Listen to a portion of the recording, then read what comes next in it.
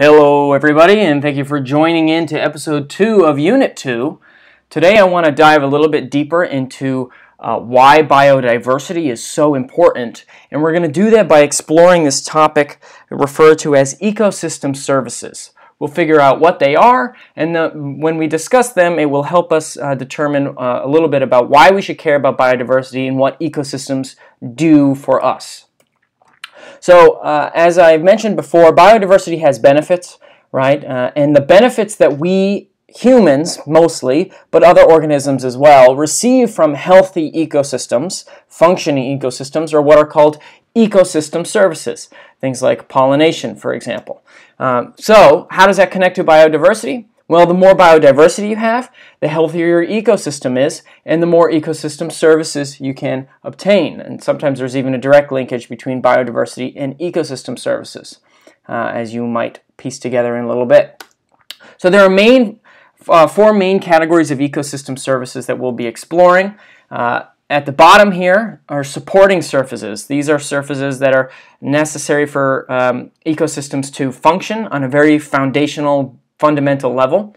Uh, and then above that uh, are provisioning services, which are products, physical products that we obtain from ecosystems, regulating services, which are um, uh, processes that are regulated by ecosystems. I'll go through some examples and you'll see what I mean. And lastly, are cultural services, which are non physical benefits that we get from ecosystems. So let's break these down a little bit. Let's start with provisioning services. This is the most tangible and obvious one. These are the physical material benefits we get from ecosystems. Uh, examples include things like water. We get fresh water from aquatic ecosystems. We get food from ecosystems. We get raw materials like wood uh, for timber and for building, fiber for making clothes and baskets, skins from animals for making clothes and, and leather purses and stuff like that. We also get medicinal resources. Um, oh, here's a picture of lumber. We get medicinal resources. Aspirin comes from the bark of a willow tree, right? Um, we also get genetic resources. This is um, regular rice, jasmine rice, and this is golden rice. Um, golden rice is a genetically modified organism that uh, when it grows, it produces higher levels of vitamin A, which is an important nutrient that isn't available to um, many people in developing countries around the world. It can lead to blindness if you don't have enough of it. So the creation of this golden rice uh, is was really important because it, it provides a source of vitamin A for a lot of people. And the gene that was transcribed into the genome of this rice plant comes from uh, there are a couple genes. One of them comes from another plant, and one of them comes from bacteria. So the, that is an example of a genetic resource that we have obtained and then used for our own services. Regulating services are things that are going to maintain the health of the ecosystem, maintain the quality. Um, these things are kind of uh, invisible and they kind of keep things up and running, maintenance, so to speak. And they include things like uh, regulating the local climate, regulating air quality, right? Um, so an example is that uh, evaporation or transpiration, I should say, from trees and from grass is going to introduce more water in the air, water that has been purified by the plants. They're also going to be doing photosynthesis and respiration, which helps um, uh, purify the air. Uh, pollination is another important regulating service I'll talk about in more detail in a little bit. Erosion control is huge. Uh, the roots of plants help hold the soil together and prevent water and wind from eroding away that soil. That's going to be hugely important for ecosystems themselves, but also our own farms and where we build our houses and things like that. Uh, we've talked about how plants store carbon. Uh, we've talked about decomposition of waste, whether it's your dog's poop or dead animals or dead plants. Uh, ecosystems regulate that waste and reintroduce it back into uh, the matter cycling.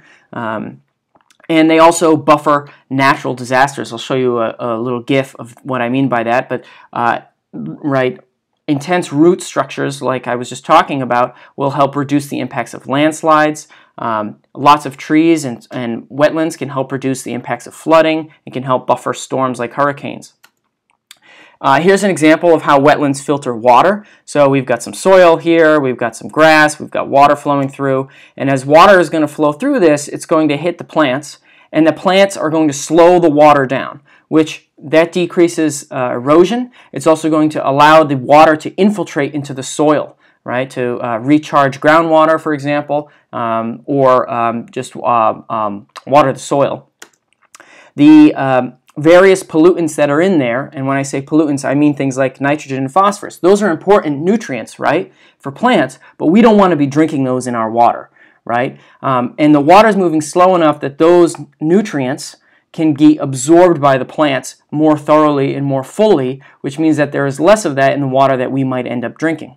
It's also flowing slow enough that uh, particulates like pieces of soil, rot, rock, silt, dust, etc., that are floating in the water will be able to settle to the ground. So the water that's coming out is a lot clearer, there's a lot less sediment in it, and there's also a lot less chemical uh, pollution uh, in it. And not just things like nitrogen and phosphorus, but also more anthropogenic chemicals as well.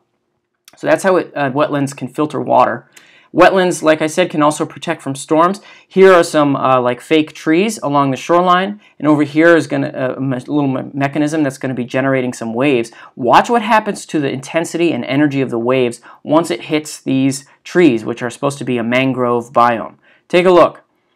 You can see the waves are pretty intense, and the second they hit the mangroves, the wave energy dissipates dissipates almost completely and the shore is experiencing no wave stress at all, which can have huge impacts in buffering from storms, coastal erosion, uh, storm surges, and flooding, you name it. So, wetlands are a great example of um, these regulating services.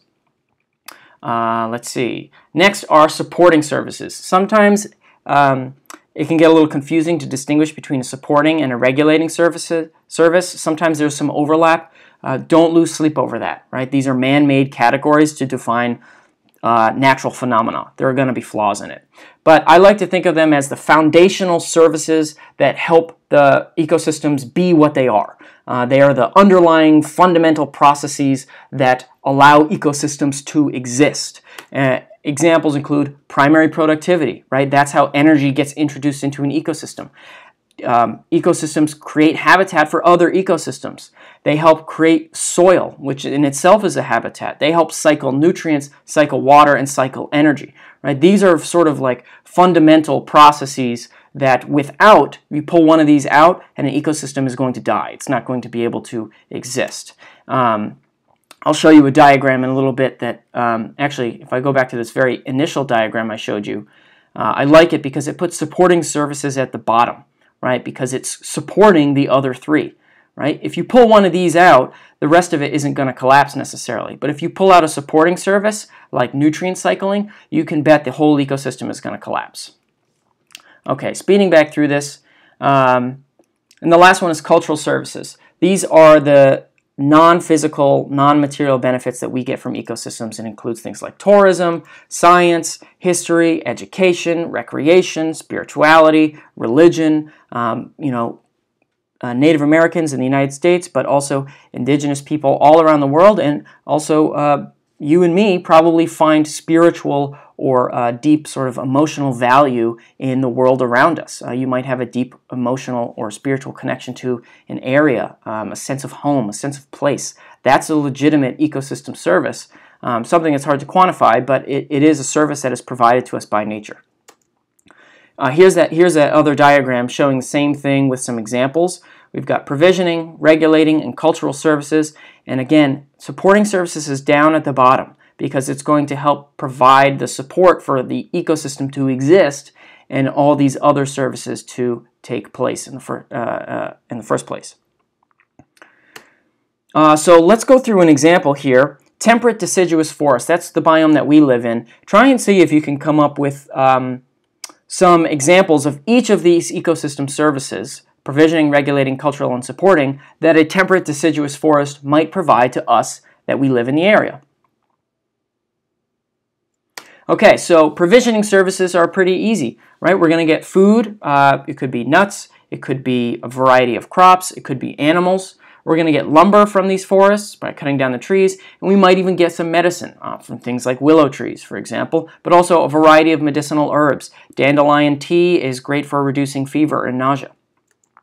Regulating services is a little bit broad, right? Trees are going to regulate the climate. They're going to help cool the air around. They're going to provide shade. Uh, they're going to re regulate the air quality as well by doing photosynthesis and cellular respiration. That's typo there, sorry. They're going to store carbon. They're going to help moderate extreme weather events. Could be extreme wind. They're going to help block that wind and buffer it. Um, they can filter water through their roots, but also um, um, what if they absorb water and then it transpires out of their leaves, that's going to help filter it as well. And their roots will also help control erosion. Culturally, right, you can pretty much apply any of these. Um, recreation, you might go hiking. Tourism, you might go see a national park like Shenandoah. Um, there might be spiritual benefits. There could be educational benefits as well. Um, I take my students out into forests all the time for learning purposes. Uh, and lastly, supporting this is probably the most straightforward because we know that forests cycle uh, various nutrients as well as water. They help introduce energy into the ecosystem. Um, their roots will help soil form, and they provide habitat for a variety of other species, from plants to squirrels to humans to bears, moose, deer, you name it. Uh, an another thing I want to distinguish is that ecosystem services were developed in the 70s as a way to Get people who didn't like care about Earth to care about Earth for monetary reasons because you can quantify ecosystem services with a dollar value, right? We've got total global value per year in terms of trillions of dollars, trillions, and you've got the ecosystem service here on the y axis. So you can see that things like treating waste, recreation, and controlling erosion, providing food are hugely, hugely valuable services. Um, some of these are not as valuable monetary wise, but uh, some of these, if you look, are uh, supporting services that help to uh, make these other ones possible. Here's a, another graph that shows um, similar type of thing. We've got biomes in different colors here. Okay, um, let me orient you. So the biomes are in different colors, and the colors are uh, available here and here. And then in column A, we've got the size of the area in hectares, which is a, um, a metric unit of area. And in column B, we've got the monetary value per hectare per year in the United States in dollars, right? So take a look at this. We've got 33,000 hectares of open ocean. They estimate $491 uh, per hectare per year. So do some multiplication and you can determine that the uh, value of the open ocean is pretty high. Um, some of these, take a look at the B column, you'll see which ecosystems have the highest ecosystem service in terms of their value uh, for money, right? Salt marshes and mangroves, they're going to buffet the storms, they're going to filter water, they're going to provide habitat for nursing birds and fish, they're going to provide food, they're going to do primary productivity, they're going to store carbon. So that means that they have a very, very high value per unit area. Um, so an example of this is uh, happened in New York a couple years ago, and I think also in the 90s with the Catskill watershed. Uh, for those of you who don't know, New York City's water is unfiltered. Uh, and the reason for that is because they rely on the filtration of the watershed, the lakes, the reservoirs, the forests, the rivers, um, and the natural ecosystems to provide uh, filtering services for New York's population. Unfortunately, uh, a couple years ago, a couple decades maybe, sewage and pesticide pollution made that very difficult for the ecosystem to do. It, it was not able to keep up with filtering the waste and purifying the water. Uh, so what New York did is they invested about a billion dollars into fixing that problem, uh, reducing the dumping, um, preserving and protecting that land, um, keeping all facilities up to date, etc. That's going to increase, or that ended up increasing the absorption of chemicals into the soil, uh, chemical filtering, and nutrient cycling, which ultimately led to improved water quality. And like I said, this was a billion dollar project. But the alternative was to construct a water treatment plant, which would have cost about $10 billion plus $100 million of upkeep annually. So this project of, of uh, saved the state of New York a ton of money, right? I, am not joking when I say that these ecosystems provide a lot of financial um, benefit. Um, Unfortunately, there are things that we do as humans that can disrupt these ecosystem services, whether it's deforestation, whether it's pollution and oil spills, um, and ultimately they will have both economic and environmental consequences, right? Um, oil spills damage the oil industry, they damage the fishing industry in terms of money, but they also damage that ecosystem, right? Here's a great example, uh, pollination in California. Uh, about 15 to 30% of food production in the United States relies on pollination by bees when they carry the pollen from one flower to another and help those plants reproduce. It's plant sex. Many farmers, though, are importing bees from Europe. The European honeybee is, a, is not native to the United States, and that's what you think of when you think of a bee. It's the European honeybee. Because we're importing it from Europe because the agricultural practices of using pesticides and insecticides make it hard for our United States bee populations, the native populations, to get this job done on their own. So they've actually had to start bussing in bees from across the ocean. And it's such a valuable industry, bees are so worthwhile that they're actually seeing heists where people are stealing bees out of people's uh, farms. And it sounds kind of silly, but I'm talking like um, there's one farmer, he had like four hives stolen, and he estimated it cost like $45,000 just for those four hives. Um, so bees are a very, very important, they play a hugely important role in our agriculture, um, and they're in high demand because of our uh, actions in terms of uh, pesticide use.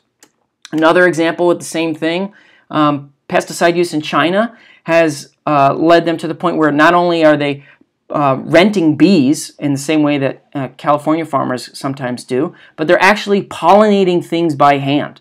Um, they're taking these little sticks and putting pollen on them, and then they're touching it to the tip of every flower individually um, because it's actually uh, it's relatively cheap, and um, excuse me, they can't um, they don't have any native pollinators due to pesticide overuse. Uh, so this is a, a, another example of how anthropogenic actions are impacting ecosystem services. Um, their food production is, is severely slowed because of this.